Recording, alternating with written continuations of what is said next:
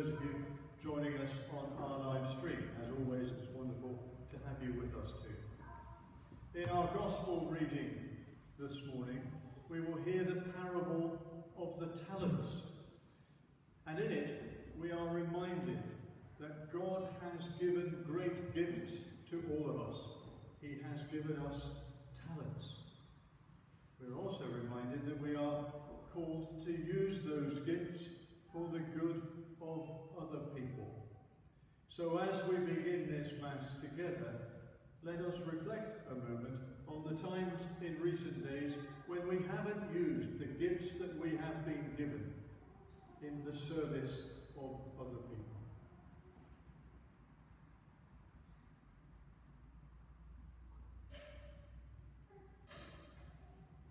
Lord Jesus, you came to reconcile us to one another and to the Father.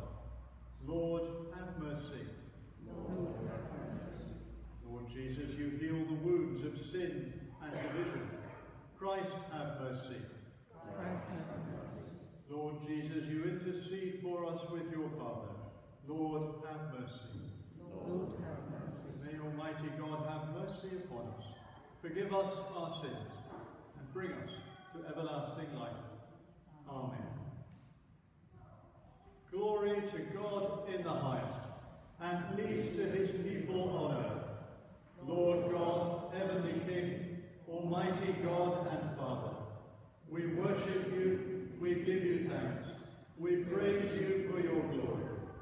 Lord Jesus Christ, only Son of the Father, Lord God, Lamb of God, you take away the sin of the world. Have mercy on us. You are seated at the right hand of the Father.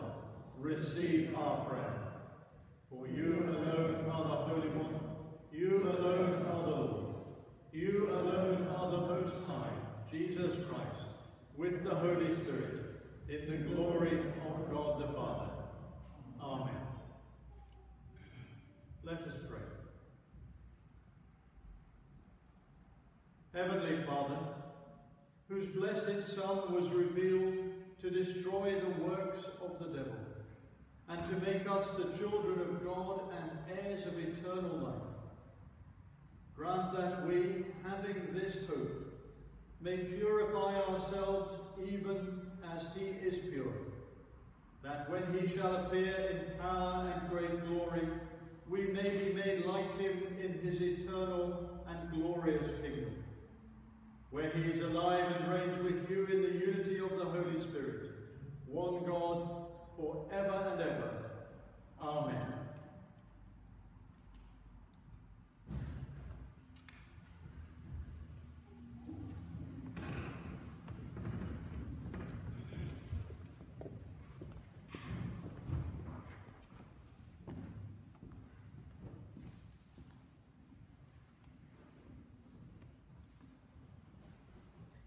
A reading from the first letter of St. Paul to the Thessalonians. You will not be expecting us to write anything to you, brothers, about times and seasons, since you know very well that the day of the Lord is going to come like a thief in the night. It is when people are saying how quiet and peaceful it is that the worst suddenly happens. And suddenly, as labour pains come on woman, and there will be no way for anybody to evade it. But it is not as if you live in the dark, my brothers, for that day to overtake you like a thief. No, you are all sons of light and sons of the day. We do not belong to the night nor to the darkness. So we should not go on sleeping as everyone else does, but stay wide awake and sober. This is the word of the Lord. The response to the psalm is, O blessed are those who fear the Lord. O blessed are those who fear the Lord. o blessed are those who fear the Lord and walk in his ways. By the labour of your hands you shall eat. You, are, you will be happy and prosper. O blessed are those who fear the Lord. Your wife will be like a fruitful vine in the heart of your house. Your children like shoots of the olive around your table. O blessed are those who fear the Lord. Indeed, thus shall be blessed the man who fears the Lord. May the Lord bless you from Zion all the days of your life. O blessed are those who fear the Lord. Hallelujah, hallelujah. Make your home in me, and I make mine in you. Whoever remains in me bears fruit in plenty. Hallelujah.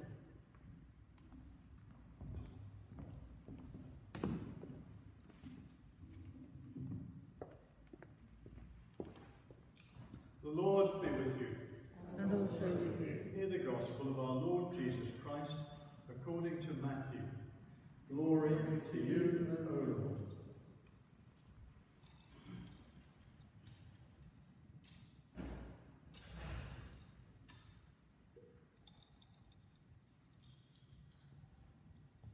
Jesus spoke this parable to his disciples. The kingdom of heaven like a man on his way abroad who summoned his servants and entrusted his property to them. To one he gave five talents, to another two, to a third one, each in proportion to his ability. Then he set out. The man who had received the five talents promptly went and traded with them and made five more. The man who had received two made two more in the same way. But the man who had received one went off and dug a hole in the ground and hid his master's money. Now, a long time after, the master of those servants came back and went through his accounts with them. The man who had received the five talents came forth, came forward, bringing five more. Sir, he said, you entrusted me with five talents. Here are five more that I have made. His master said to him, Well done, good and faithful servant. You have shown you can be faithful in small things. I will trust you with greater. Come and join in your master's happiness. Next, the man with two talents came forward. Sir, he said, you entrusted me with two talents. Here are two more that I have made. His master said to him, Well done, good and faithful servant.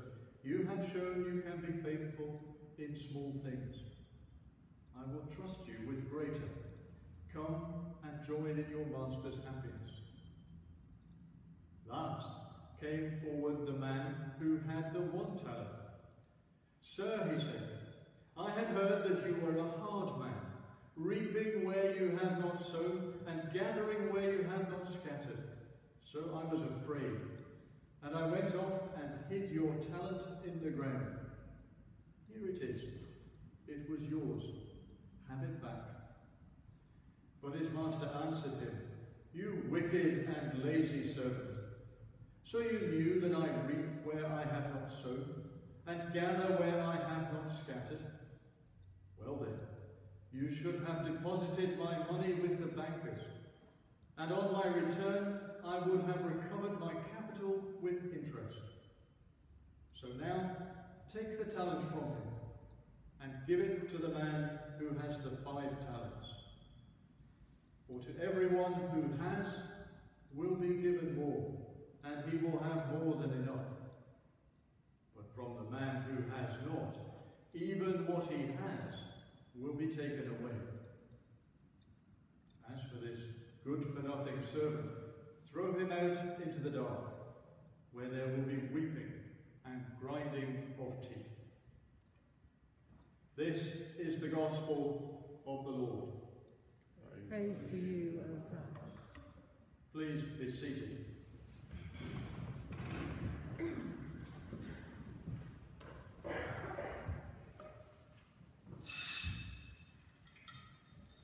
To the person who has will be given more, but from the person who has not, even what they have will be taken away. Or perhaps, put more bluntly, the rich get richer and the poor get poorer. It sounds odd, doesn't it, to find Jesus as part of his teaching, apparently applauding an economic model and structure that would see those who are wealthy being rewarded yet more, and those who have absolutely nothing having even that taken from them. But to read this parable like that is, I think, to read it incorrectly. Because this is not what Jesus was saying. Jesus was speaking in context, of course, and the context in which he lived was a world in which the rich got richer and the poor got poorer. It may be a world that sounds strangely familiar to us sitting here this morning. And so Jesus was using that. He was using that economic model to make a point. And so, if you like, the sort of folksy statement, the rich get richer and the poor get poorer, flows out of this example, this piece of teaching, when Jesus cuts to the very heart of what all of this mystery with wealth and things might mean. Now, talent was a lot of money. Biblical scholars aren't entirely clear how much money it was, but they appear to be agreed on the general understanding that it was quite a lot. In our terms today, probably somewhere in the range of five to six figures for a talent. So a significant amount of money. And so the person to whom Jesus gives five, or the master gives five, is given a lot of money. Even the one to whom the master only gives one is given a lot of money.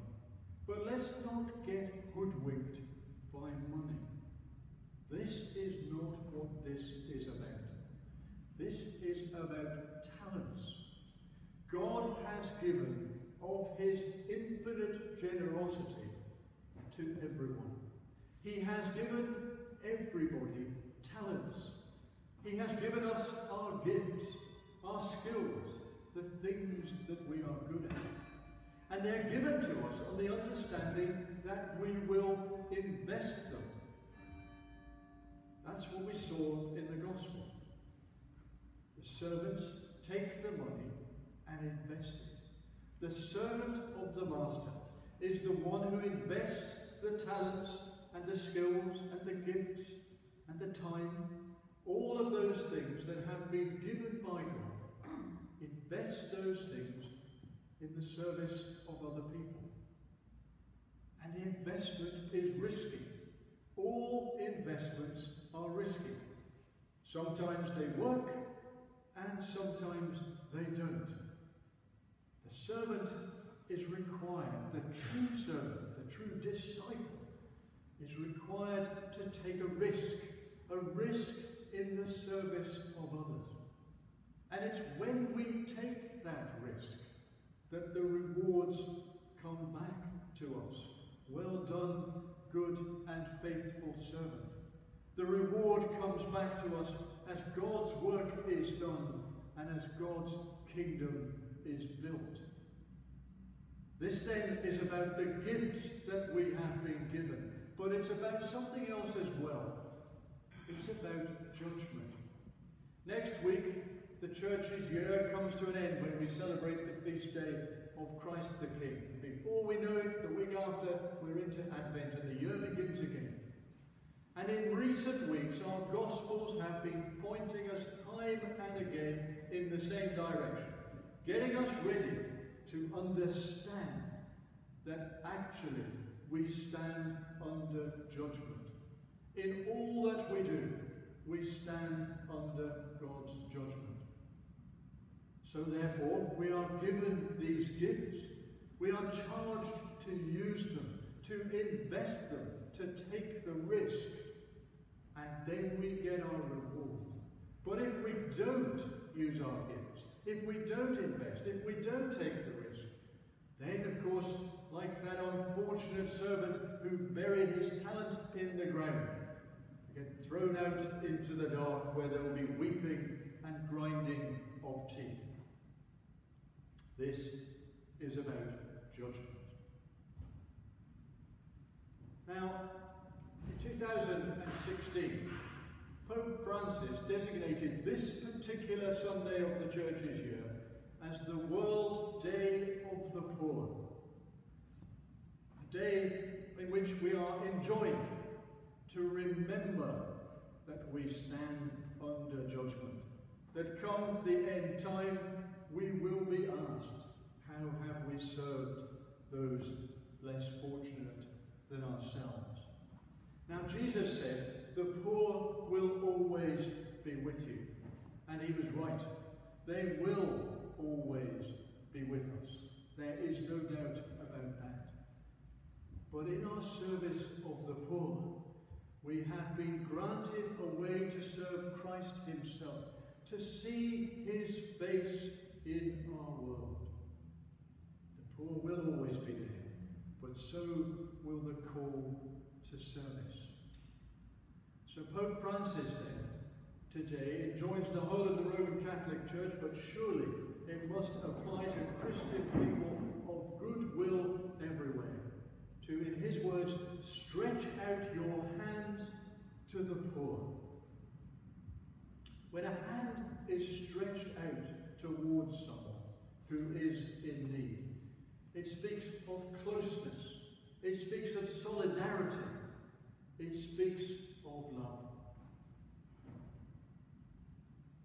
Now, in these last months, these months of virus, of pain, of death, of fear, of despair, of bewilderment around the world, we have seen outstretched hands everywhere.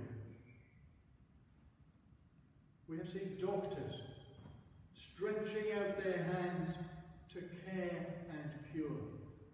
Nurses stretching out their hands for endless hours as they serve the needs of the sick. Administrators spending all their time stretching out their hands to procure PPE and ventilators and everything else in order to preserve and save life. We've seen scientists stretching out their hands in that search for that vaccine that may be coming towards its conclusion. We've seen armies of volunteers stretching out their hands to serve those living on the streets of the great cities of our world. And also to serve those who don't live on the streets but find that although they have a home, they can no longer afford food. We've seen the outstretched hands of all those who maintain our essential services day in, day out, regardless of what is going on. We've seen the outstretched hands of neighbours who have gone the extra mile, shopping and caring for those who can't get out and have been effectively trapped in their homes during these months. We've even seen the outstretched hands of priests bringing blessing to the living and consolation to the dying. Everywhere we have seen the outstretched hands, outstretched hands of God Himself. So many outstretched hands, reaching through the risk of contagion in order to care for the needs of others.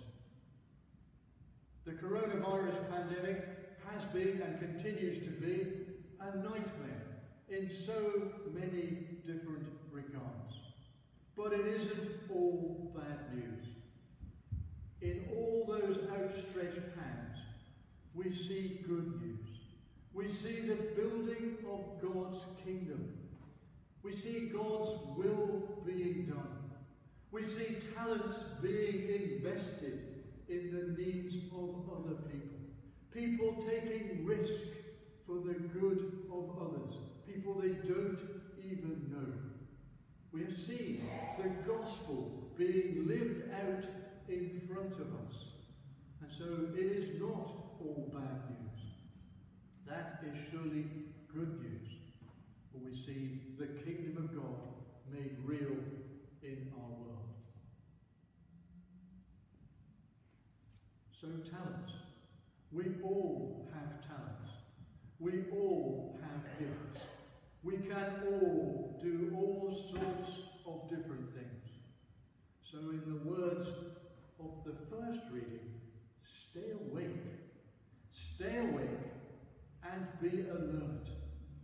Look out for opportunities each and every day to reach out your hands, to stretch out your hands towards other people, to serve those all around us who are in need.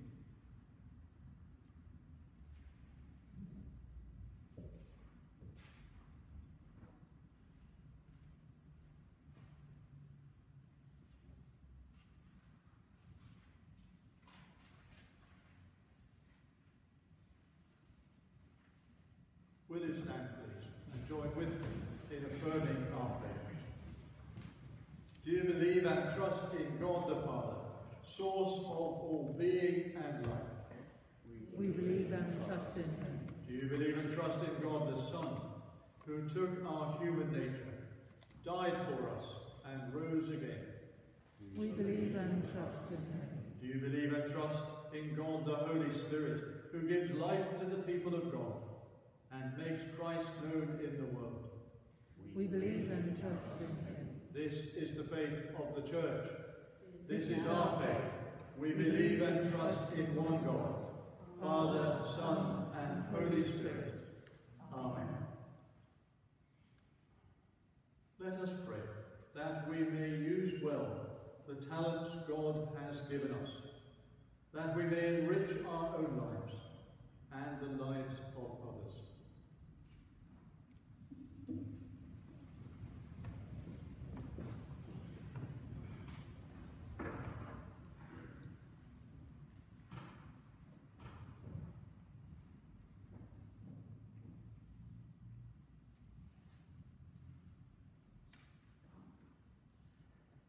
Hear us, Lord, as we pray for the Church, for its leadership by the archbishops and bishops, and for all clergy and laity, that in this time of pandemic, the Church may remain strong and faithful and continue to proclaim the good news of salvation, to minister the sacraments, and to care for others. Lord, hear us. Lord, graciously hear us. Hear us, Lord, as we pray for your world. For areas of the world ravaged by war or terrorism. For countries recovering from natural disasters of storm or floods. We pray for good stewardship by the leaders of the nations. For wisdom to work for peace and justice. We uphold to you Elizabeth our Queen and all her ministers in these islands in their decision making in these difficult times. Lord, hear us. Lord, graciously hear us. Hear us, Lord, as we pray for our parish of St Luke with St James, for our worship and fellowship together, for the use of all the various gifts, talents and abilities with which you have blessed us to further our mission and outreach in our community. We uphold to you our preparations for the prelude to Christmas this coming Saturday. Lord, hear us. Lord, graciously hear us. Lord, hear us as we commend to you all who are in any ways afflicted or distressed, in mind, body, or spirit. Uphold to you those for whom each day will seem long and hard, for those who are struggling with loss of work or mountain pray for those suffering from the coronavirus, for those undergoing investigations and treatment. We pray for all those who are sick in any kind of need. We pray that you will give comfort and relieve them in that need. And we pray especially for Mark, Bert, Christina, Linda, George, Bill,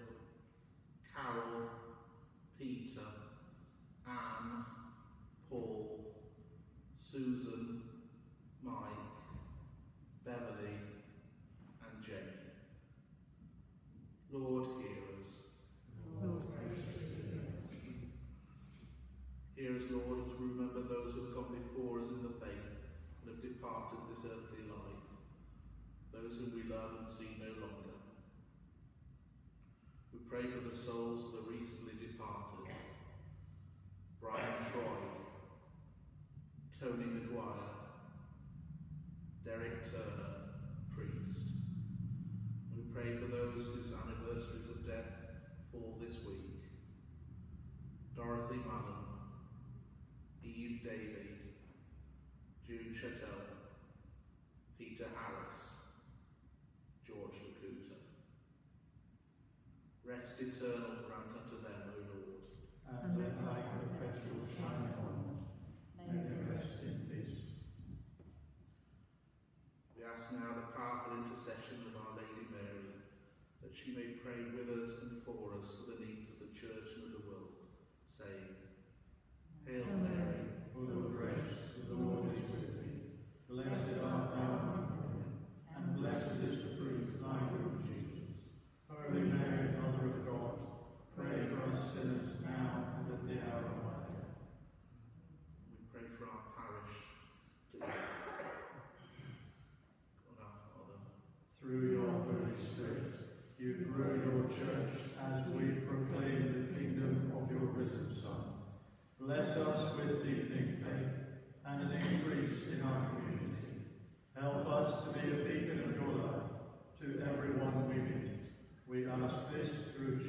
Christ our Lord. Amen. Heavenly Father, hear the prayer of your people. May we reach out our hands to the poor, extend our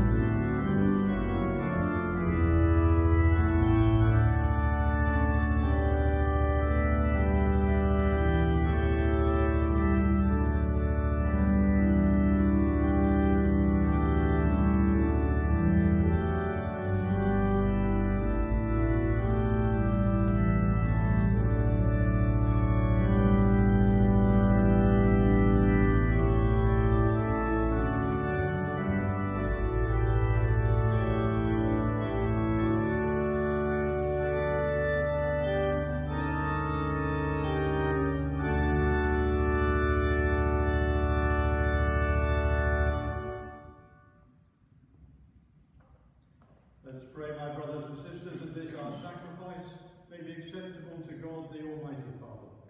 May the Lord accept this sacrifice at my hands for the praise and glory of his name, for our good and the good of all his church.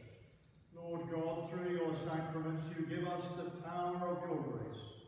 May this Eucharist help us to serve you faithfully. We make this prayer in the name of Jesus Christ, our Lord. Amen. The Lord be with you. And also with you. Lift up your hearts. Lift them to the Lord. Let us give thanks to the Lord our God. It is right to give thanks and praise. It is indeed right, our duty and our joy, that we should always sing of your glory. Holy Father, Almighty and eternal God, through Jesus Christ, your Son, our Lord. For you are the hope of the nations, the builder of the city that is to come. Your love made visible in Jesus Christ brings home the lost, restores the sinner, and gives dignity to the despised. In his face your light shines out, flooding lives with goodness and truth, gathering into one in your kingdom a divided and broken humanity. Therefore, with all who can give voice in your creation, we glorify your name, forever praising you and saying, Holy, holy, holy Lord, God of power and might, heaven and earth are full of your glory. Hosanna in the highest. Blessed is he who comes in the name of the Lord. Hosanna in the highest. Lord, you are holy the source of all holiness. Grant that by the power of your Holy Spirit, you these gifts, and according to your holy will, these gifts of bread and wine may be to us the body and blood of our Lord Jesus Christ, who in the same night that he was betrayed took bread and gave you thanks.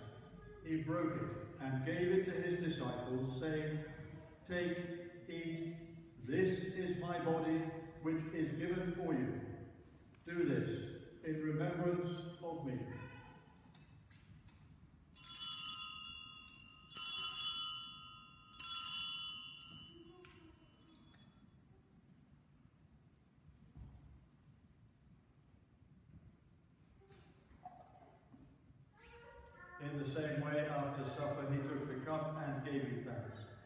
He gave it to them, saying, Drink this, all of you. This is my blood of the new covenant, which is shed for you and for many for the forgiveness of sins. Do this as often as you drink it, in remembrance of me.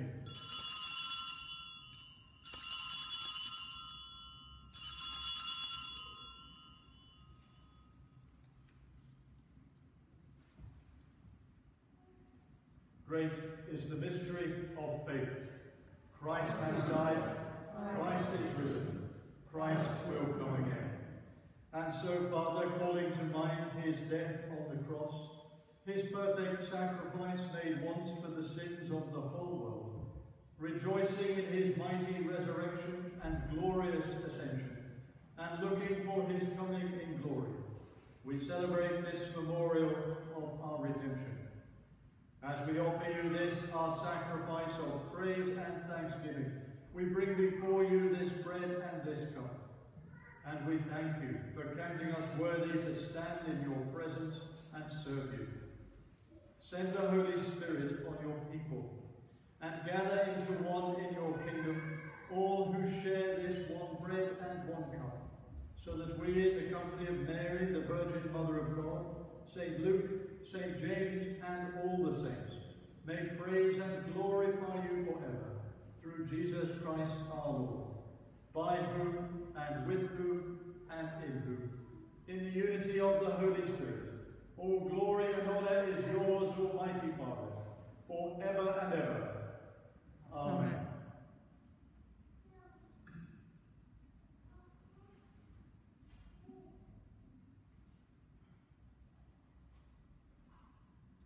Let's pray for the coming of God's kingdom in the words that Jesus taught us.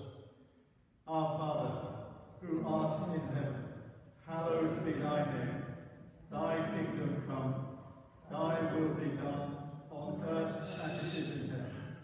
Give us this day our daily bread, and forgive us our trespasses, as we forgive those who trespass against us. And lead us not into temptation, but deliver us from evil. For thine is the kingdom, the power, and the glory, forever and ever. Amen.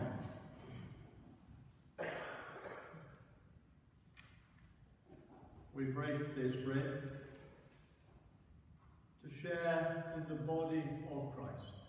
Though we are many, we are one body, because we all share in one bread. Jesus, Lamb of God, have mercy on us. Jesus, bearer of our sins, have mercy on us. Jesus, Redeemer of the world, grant us peace.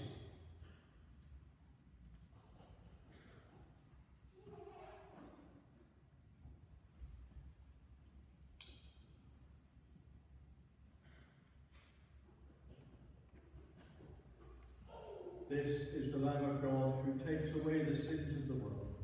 Blessed are those who are called to his Son. Lord, I am not worthy to receive you, but only say the word, and I shall be healed. Now I invite those of you joining us on the live stream to join with me in an act of spiritual communion. My Jesus, I believe that you are present in the most holy sacrament. I love you above all things, and I desire to receive you into my soul. Since I cannot at this moment receive you sacramentally, come at least spiritually into my heart. I embrace you as if you were already there, and unite myself wholly to you. Never permit me to be separated from you. Amen.